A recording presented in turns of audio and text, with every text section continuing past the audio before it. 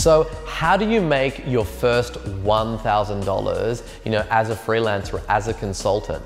And really, again, let's kind of take a step back and look at what you actually get paid for as a freelancer, as a consultant. Do you know what I mean? You get paid to solve problems for people, right? So you're gonna be out there in the marketplace solving a problem for somebody and then basically be getting paid money in exchange for solving that problem and really creating value in the marketplace.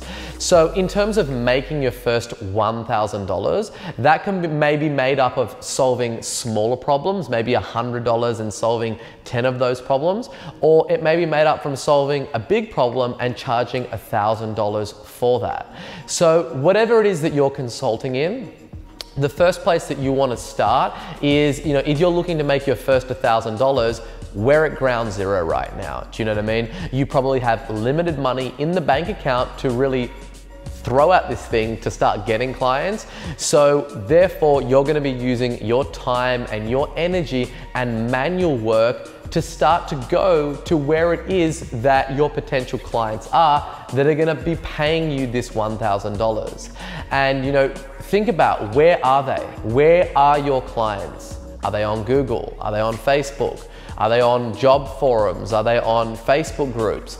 And realistically, if you're starting from scratch, then you're gonna be looking at things like Reddit threads. You're gonna be looking at things like Facebook groups where, you know, they're all congregating, those kind of clients that are experiencing these problems and really kind of looking for answers to those problems. And then you're gonna start to step in and you're gonna start to answer those questions for free. Now, at this stage, you might be thinking, yes, Sabri, well, how do I make that first elusive $1,000, right, as a consultant or as a freelancer? And the reality of it is that you need to provide value upfront first in order to kind of open up that dialogue where you can kind of start to charge people. Because the reality is, if we're looking at something like Facebook groups, there might be 30,000 people in that Facebook group.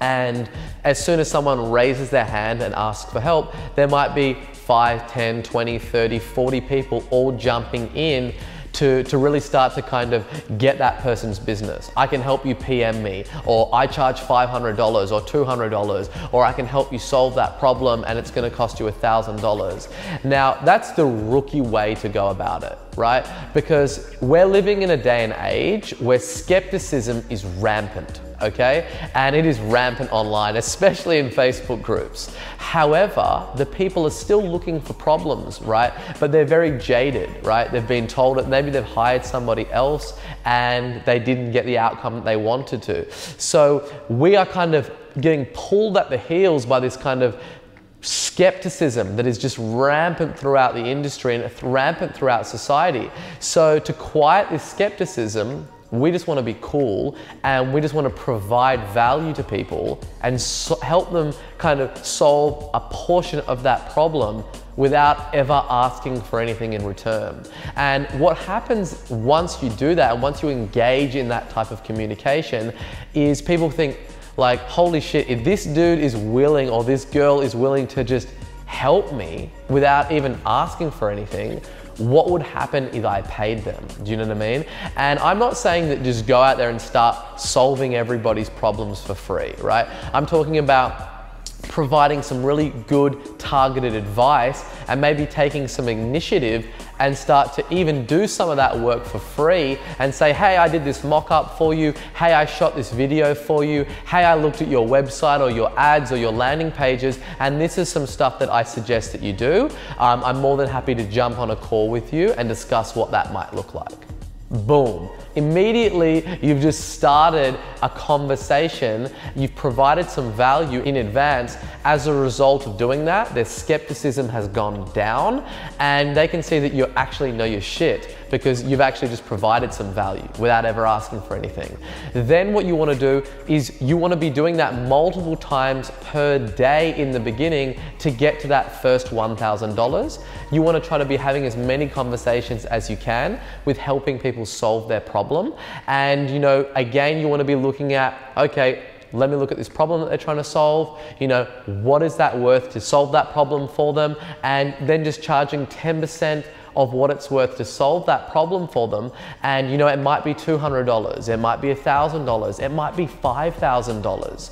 You know, you're not gonna know until you start to have those conversations. And if you do that, you know, with enough frequency, before you know it, you'll already have a few clients and you would have reached your first $1,000 as a freelancer uh, or as a consultant. So really there you have it guys. That's kind of how you make your first $1,000. It's about simply getting out there, putting that activity in, engaging those conversations, providing value, and before you know it, a percentage of those conversations will turn into paying clients. The Foundr mission is to help you create an ass kicking business and help you learn straight from the mouths of world class founders.